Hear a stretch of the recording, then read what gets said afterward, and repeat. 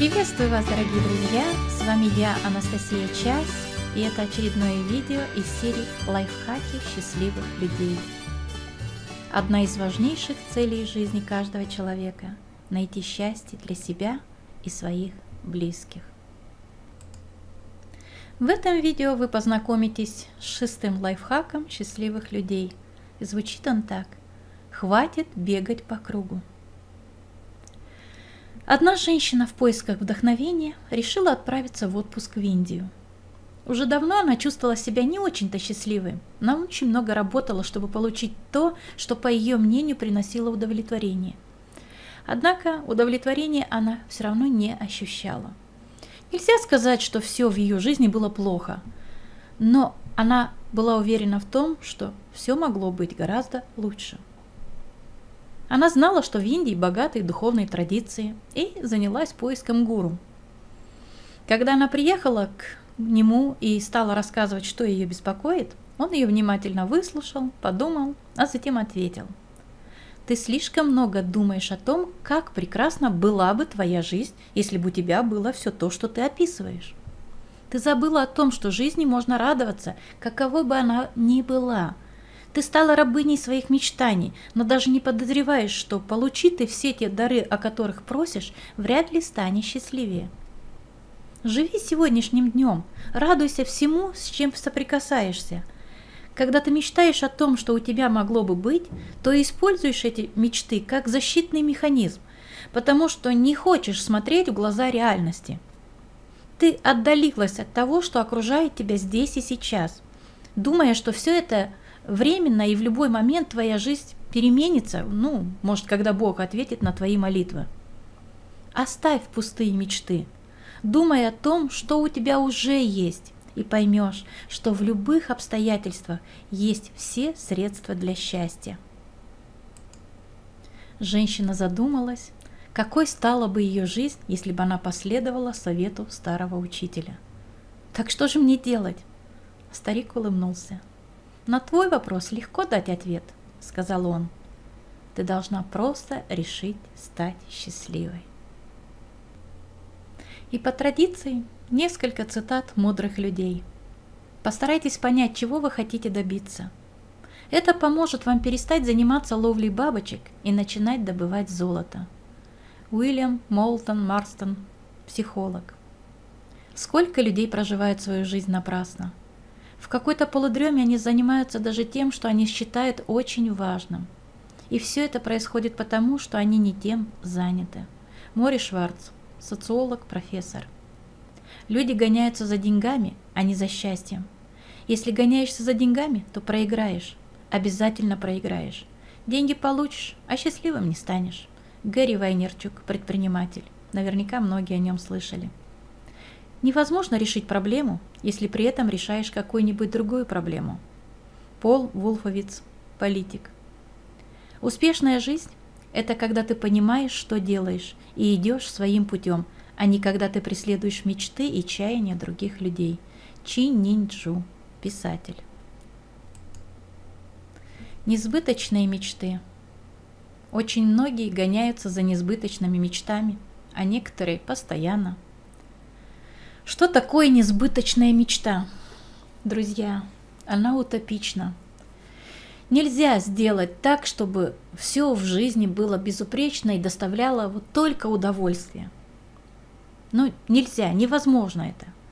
Поиск совершенства – это, конечно же, неплохо, но если без совершенства вы не можете быть счастливы, то тогда дело плохо, на самом деле плохо – если это мотивирует вас на успех, ну, в некотором роде это хорошо. Но нужно находить достоинство и в том, что уже есть, даже если ваша жизнь не идеальна. Ведь смотрите, что произойдет, если мы перестанем носиться за несбыточными мечтами, а будем просто радоваться тому, что имеем? Друзья, это совсем не значит согласиться вот с тем, что есть, и все, и вот по-другому, ну, вот как есть, так есть. Нет. Это просто скорее это будет благодарность за то, что мы имеем. Когда мы перестанем носиться за несбыточными мечтами, это как, будет как благодарность за то, что мы имеем. мы должны перестать корить себя за то, что не выиграли, может быть, в лотерею, за то, что, может быть, не живем так, как живет там некоторые, может быть, наши знакомые, за то, что не изобрели, может, чего-то такого, не получили, может быть, работу своей мечты, э, ну, не родили столько детей, сколько вот планировали, или вот хотелось бы дочка, а вот только сын, или там двое-трое э, сыновей, а хотелось бы еще и дочку, и так далее. Вместо этого стоит остановиться и просто задуматься, и посмотреть на то, что уже у нас есть.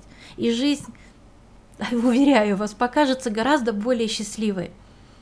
Потому что Ругать свою жизнь это слишком просто. Это слишком просто. Я, мол, ну, не так, э, так и не купил себе, к, примеру, там ту машину, которую хотел. О, так и прошло столько лет, а у меня э, там та, не такой дом, всего там трехкомнатная квартира или однокомнатная, хотелось бы трехкомнатной и так далее. Я не настолько богат, как хотел. У меня не, не лучшая работа, у меня всего двое детей, а вот у некоторых вот помощь по четверо, по пятеро детей и так далее. А если взглянуть на ситуацию, вот на вашу ситуацию с положительной точки зрения, попытайтесь взглянуть вот просто с положительной точки зрения и подумать так, да у меня ж классная машина, хорошая машина, она меня никогда не подводит. Еды мне хватает, э, я всегда покупаю там больше еды, чем мне нужно. Иногда я даже себе позволяю какие-нибудь деликатесы, а может быть даже не иногда, а там раз в три дня, там раз, даже каждый день, может быть, я себе позволяю. Каждый год я беру отпуск, а может быть и два раза, а то и три раза у меня получается. То чем плоха у меня? Хорошая жизнь. У меня все хорошо. У меня постоянно работа, а другие вон по полгода не могут найти работу. Я работаю с людьми, которые мне нравятся, с которыми мне комфортно, хорошо. У меня там, к примеру, эм, двое прекрасных, замечательных, чудесных детей и так далее. Ну, это Добавьте сами дальше. И вот смотрите, если вы станете мыслить подобным образом, каждый день думать, что у вас все замечательно и, и все у вас хорошо с положительной точки зрения смотреть на все, то сможете с легкостью обернуть вот любую ситуацию в свою пользу. У вас получится радоваться замечательным вещам, которые у вас есть, а не думать э, о тех, которых у вас нет. И поймите, друзья, что в вашей жизни уже и так все хорошо. Все хорошо в вашей жизни. Вот как часто вы слышали выражение, если вы не предлагаете решение проблемы, значит, вы сами часть этой проблемы. А что, друзья, если задумайтесь, а что, если проблемы просто не существует? Вот вы как-то, может быть, себе определили, что у вас какая-то проблема, а может, ее на самом деле не существует – в таком случае решение не потребуется.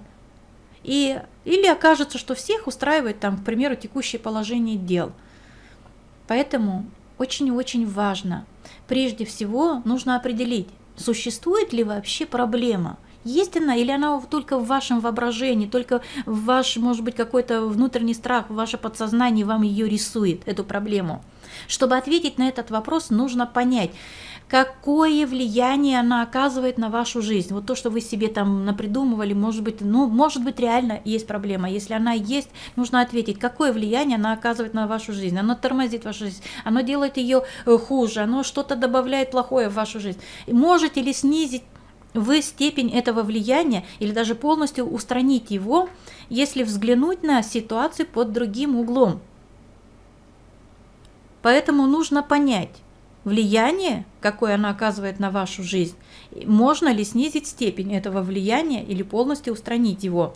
Посмотрите под другим углом. Вот, к примеру, вы смотритесь в зеркало, вот перед вами зеркало. А если вы подойдете сбоку, с другой стороны, вы уже себя в зеркале не увидите, вы увидите уже в зеркале что-то другое, вы уже смотрите под другим углом. Так и на проблемы, на ситуации смотрите под разными углами, да, под разным углом.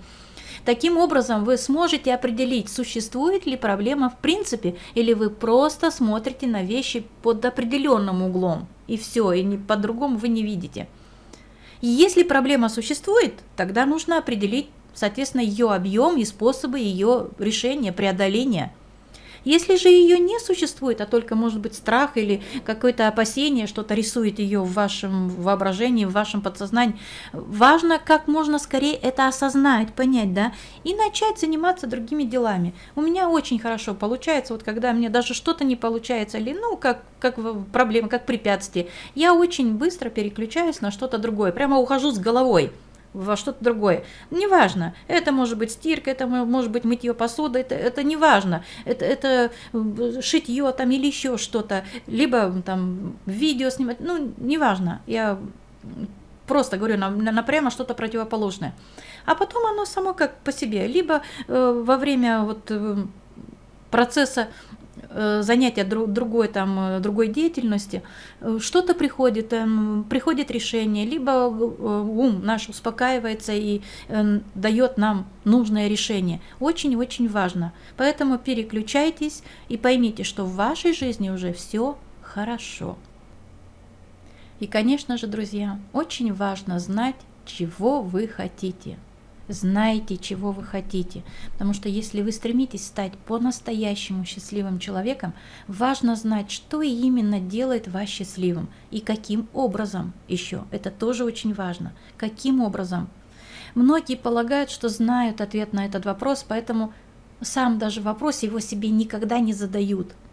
В результате шагают по жизни, э, так и не достигнув вот этого прекрасного, замечательного состояния счастья и не знает причин, по которым вот все обстоит так плачевно, может быть, в их жизни. Например, возьмите человека, который пытается вот сбалансировать, к примеру, роли работы и семьи в своей жизни. Он может работать в два раза больше и, соответственно, конечно же, зарабатывать в два раза больше. Но тогда он будет проводить дома э, со своими детьми, со своими близкими э, в два раза меньше времени. Или можно же работать в два раза менее усердно, получать, конечно же, в два раза меньше, но зато проводить в два раза больше времени с семьей. Попади вы в такую ситуацию, что бы вы сделали, что бы вы выбрали? Важно найти баланс, очень важно. Важно изучить свои приоритеты, ценности и цели в жизни. Не тещи, ни мамы, ни папы, там, ни брата, ни сестры, ни мужа, ни жены, а ваше, и лично ваше, и решить, как вы будете их измерять еще. Это тоже очень важно. Ваши приоритеты, ваши ценности, ваши цели. И решить, как вы будете измерять. Их можно измерять по-разному.